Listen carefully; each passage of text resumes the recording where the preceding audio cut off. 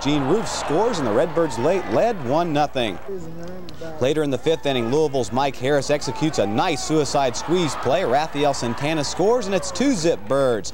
Still in the fifth inning, Tito Landrum singles through the infield to left. Mike Harris scores 3-0, and Louisville went on to win it 11-5. The Atlanta Braves continue to roll. Here, Greg Luzinski clobbers one that could have been picked up on radar onto the roof in left field. A bit later, the Bull again connected. Boom, his 26th homer of the year as the White Sox beat Boston 6-2. Larry Parrish had the lone RBI as Texas Blanks